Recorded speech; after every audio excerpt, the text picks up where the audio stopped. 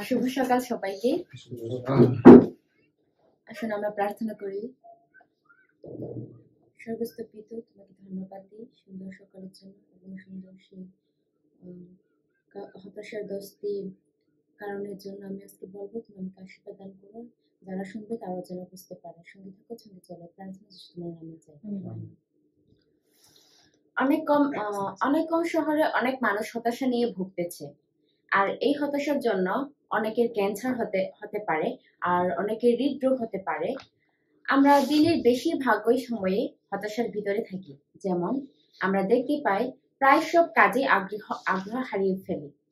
আর চোখে চোখে পড়ার মতো ওজন বাড়া বা কমে যাওয়া, অতিরিক্ত ঘুমানো কিংবা একদমই ঘুমাতে না পারা, চিন্তা ভাবনা বা চলাচলে গতি ধীর হয়ে যাওয়া, প্রায় দিনই ক্লান্তি অনুভব করা।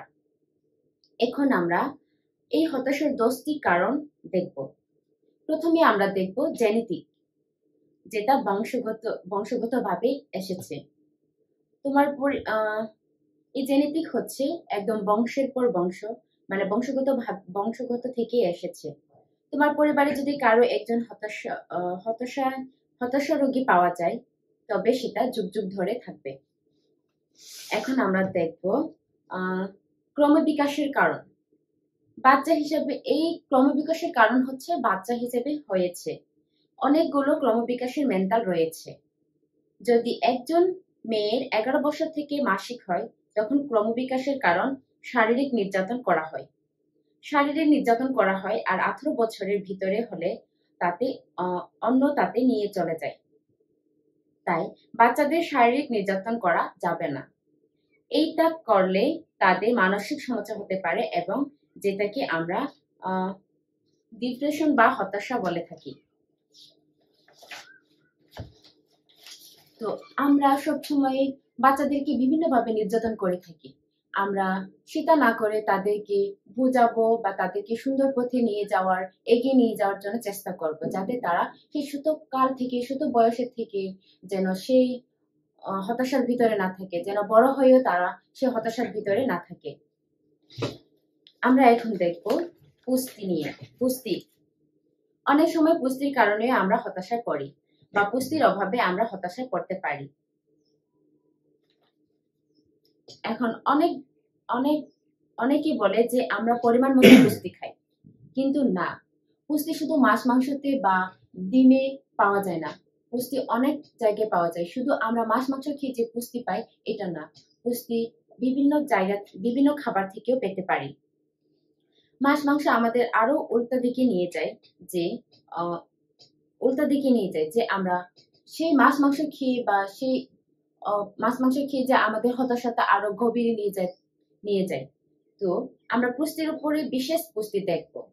আমাদের পুষ্টির উপরে বিশেষ পুষ্টি দেখতে হবে, যেটা আমরা দেখি যেমন তৃপ্তিফেন এগুলি আমরা পাওয়া যায় স্বচ্ছ এবং বাদাম, বিশেষ করে ফ্ল্যাক্সিতে পাওয়া যায়। এগুলি আমাদের সংগ্রহ করে খাইতে হবে। লো ওমেগা থ্রি আর হচ্ছে low low folic acid, low D low D vitamin. আর হাইয়ের মধ্যে আছে high cholesterol high saturated fat high sugar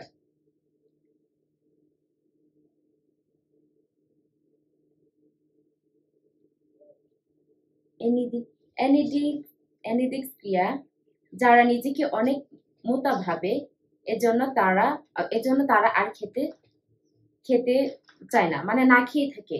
যেমন বলিভিয়া, এটা অনেক খারাপ। যারা নিজেরা টয়লেটের ভিতরে ঢুকে নিজের গলার ভিতরে আঙ্গুল ঢুকিয়ে এবং বমি করার চেষ্টা করে। এখন আমরা দেখব সামাজিক। সামাজিক হচ্ছে যাদের সাথে ভালো সম্পর্ক আছে, যারা তোমাকে দেখাশোনা করতে পারে, অথবা সমাজে নিচু পর্যায়ের লোক আছে, তাই তোমাকে নিচু চোখে দেখা। এটা হচ্ছে সামাজিক। আর আমরা অনেক সুন্দরভাবে সামাজিক পরিবর্তন করতে পারব যে আমরা একে অন্যকে নিচু চোখে না দেখে, সমান চোখে যদি যখন দেখি, তখন আমরা সেই সামাজিক পরিবর্তন করা যায়।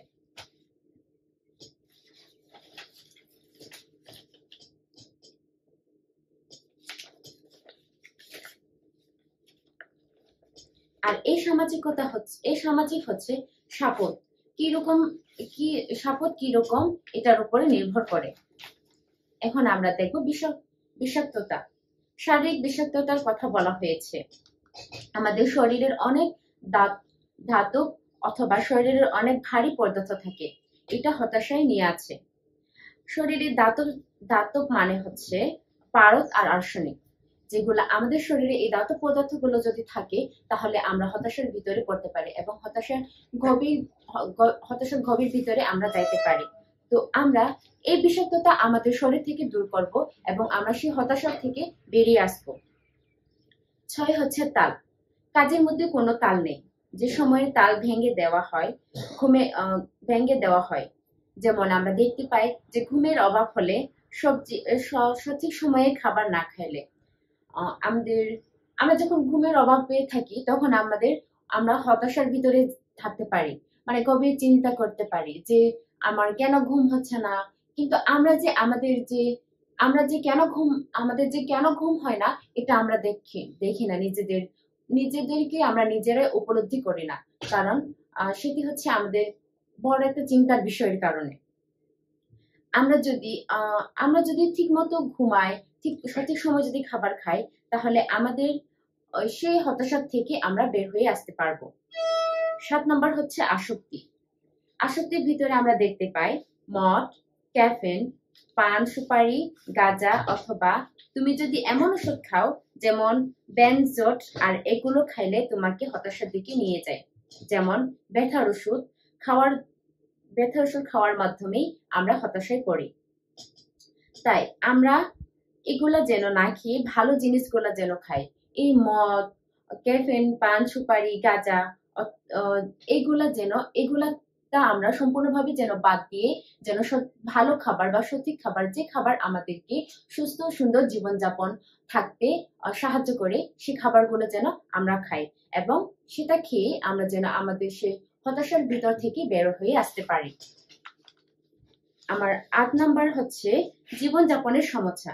এই জীবনযাপনের সমস্যা হয় বাইরে বাইরে সময় না কাটালে।